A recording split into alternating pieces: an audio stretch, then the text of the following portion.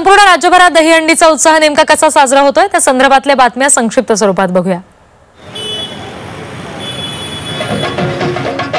ठाण्यामध्ये आनंद दिघे यांनी सुरू केलेल्या टेंभी नाक्याच्या दहीहंडीची ख्याती आहे. आणि यावेळी अनेक कलाकार राजकीय मंडळी सुद्धा या दहीहंडीला भेट देण्यासाठी येणार आहेत. नरेश मस्के यांनी ही सगळी माहिती दिली आहे. यावर्षी एकनाथ शिंदे मुख्यमंत्री झाल्यानंतर टेंभी नाक्यावरच्या याच दहीहंडीला वेगळं महत्त्व प्राप्त झालं.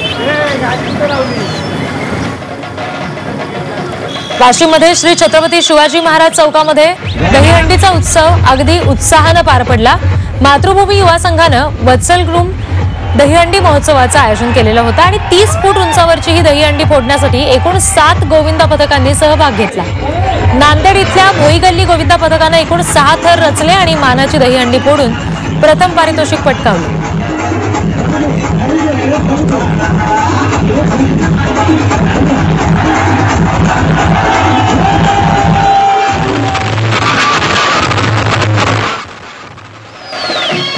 मनमाडमध्ये श्रीकृष्ण जन्माष्टमी सोहळा उत्साहात साजरा करण्यात आला. मध्यरात्री बारा वाजता बुधलवाडीच्या महादेव मंदिरामध्ये श्रीकृष्ण जन्मोत्सव साजरा झाला.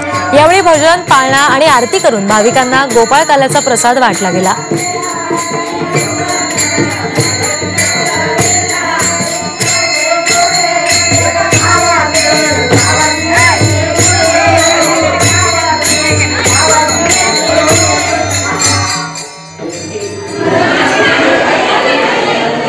येथील धडपड मंचाच्या वतीनं श्रीकृष्ण बाल सजावट स्पर्धेचं आयोजन केलं होतं. यावेळी शंभर ते दीडशे लहान बालकांनी या स्पर्धेमध्ये श्रीकृष्णाची वेशभूषा परिधान करून सहभाग घेतला. तर अगदी सहा महिन्यांच्या बाळापासून सुद्धा या स्पर्धेमध्ये सहभाग घेतलेले हे श्रीकृष्ण पाहायला मिळाले.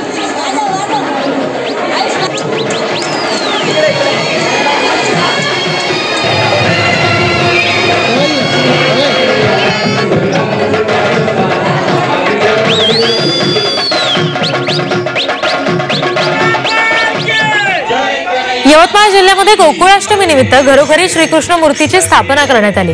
रात्री बारा वाजता श्रीकृष्ण जन्मोत्सव अगदी भक्तिमय वातावरणात साजरा झाला. त्यापूर्वी यादव समाजानं श्रीकृष्ण शोभायात्रा शहरातून काढली. श्रीकृष्ण मूर्ती स्थापनेनंतर रात्रभर भजन गायलं गेलं.